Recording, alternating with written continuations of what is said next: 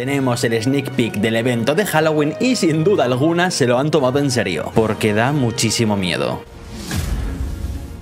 Hola ratas, ratones, de que soy Atakus en general, bienvenidos a un nuevo vídeo de Walker Rumble. El evento, como ya dijimos en su momento, durará tres semanas, del 16 de octubre al 5 de noviembre. Cada semana será distinta y tendremos diferentes recompensas. Más adelante os pondré los diferentes árboles de recompensa y los comentaremos. Sí, los diferentes árboles de recompensa, ya que habrá uno para cada semana, porque los tickets no gastados en una semana pasarán al siguiente árbol. Aunque en principio los developers me han dicho que podremos reclamar toda la recompensas de cada semana. Pero por si acaso yo lo voy diciendo. Durante el evento en estos árboles de recompensa podremos reclamar algunos artículos cosméticos. Aparte, durante estas tres semanas habrá cuatro ofertas en la tienda, siendo una de ellas un cosmético de torre. Y aparte de todo esto, podremos conseguir dos nuevas minis para desbloquear, los murciélagos y el jinete sin cabeza. Para poder conseguir tickets tendremos que hacer desafíos y misiones. Pero la diferencia es que a la hora de jugar misiones nos darán minis nuevas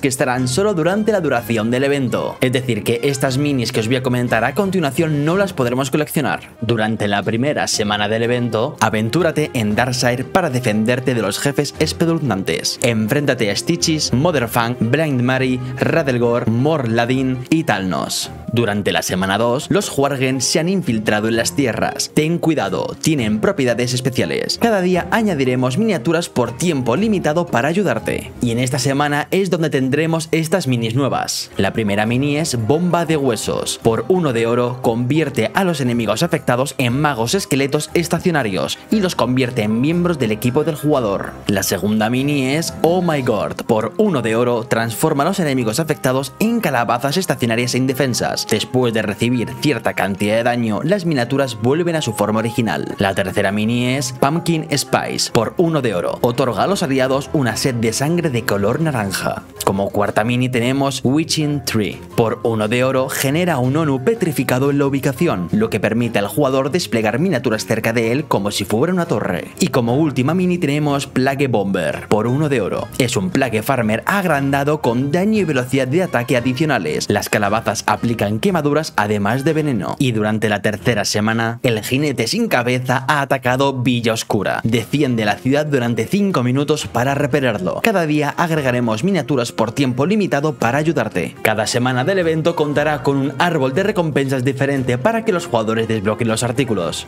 Y aquí os muestro los tres árboles de recompensas juntos en una sola imagen. No voy a pararme en leer cada artículo ya que lo tenéis aquí en el vídeo, podéis pararlo y leerlo tranquilamente vosotros mismos, pero sí una cosa que quiero comentar. Podemos ver en el primer árbol de recompensas dos artículos cosméticos que van a ser únicos del evento. Y uno es el cosmético de Cobol y otro es el Pumping Avatar. Os lo estaré poniendo aquí en pantalla. En el segundo árbol de recompensas vemos un solo cosmético, Werwen Avatar, que de la misma forma lo tendréis ahora mismo en pantalla. Además, en el árbol de la segunda semana podemos ver que ya podemos desbloquear los Dire Battling, es decir, los murciélagos nuevos. Y en el árbol de recompensa podemos ver que hay otro cosmético que es otro avatar, que por descarte creo que es este que os estoy poniendo ahora mismo en pantalla. Creo que cuando desbloqueamos el cosmético del Cobol no se nos desbloquea su propio avatar y es este de la tercera semana. También podemos ver en este árbol de recompensas de la tercera semana que podremos desbloquear el jinete sin cabeza, aparte de más copias de los murciélagos. Ahora, escuchadme bien, esto es importantísimo, os leo textualmente. La semana 3 contará con la miniatura del jinete sin cabeza. Esta miniatura solo estará disponible durante el evento. Una vez que la tengas aparecerá en la tienda y en los tomos ofertas durante el evento de Halloween. Una vez finalice el evento, esta miniatura no se podrá obtener por ningún otro medio hasta que vuelva a implementarse en el juego. Y esto es lo que os decía que sí que da miedo. Tendremos la primera mini temporal, es decir que si no la reclamamos no podremos ni mejorarla, ni siquiera dar experiencia o estrellas o comprarle talentos, hasta que vuelva a aparecer este evento, es decir, hasta el año que viene. Es una cosa que no me gusta en absoluto. Meter cosméticos temporales me parece perfecto, quien lo quiera comprar, adelante. Pero minis que afectan directamente al gameplay, eso sí que no. Dejadme en comentarios qué pensáis. Como os he comentado al principio, durante el evento habrá paquetes en la tienda para poder comprar, que te permitirá obtener copias adicionales de las minis del evento. El jinete de los murciélagos. También habrá un paquete que se podrá comprar y contiene un conjunto de diseño de torres con temática del evento. Os lo estaré poniendo aquí en pantalla.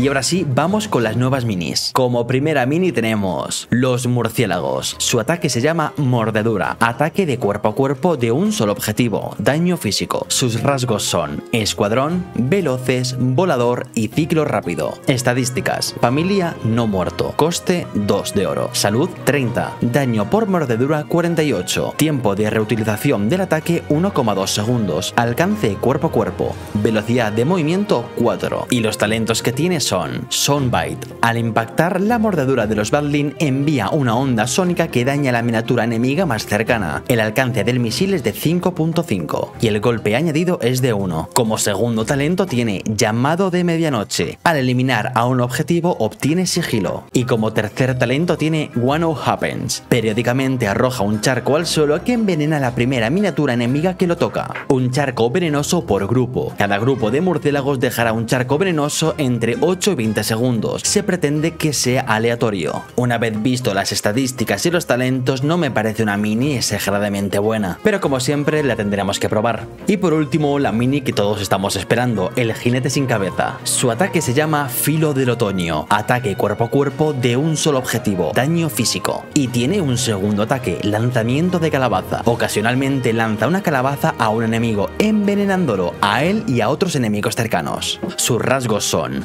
a cuerpo, rápido, elemental, bombardeo y venenoso. Es solo por el ataque de lanzamiento de calabaza. Las estadísticas que tiene esta nueva mini son familia no muerto, coste 5 de oro, salud 1550, daño de filo del otoño 200, daño físico, tiempo de reutilización del ataque 1,5 segundos, alcance cuerpo a cuerpo, daño de lanzamiento de calabaza 140 y dos acumulaciones de veneno, tiempo de reutilización del ataque 8 segundos, alcance 8, velocidad de movimiento 4 y sus talentos son decapitar. Al eliminar un objetivo obtiene sed de sangre durante 5 segundos. Como segundo talento tenemos vigilancia nocturna.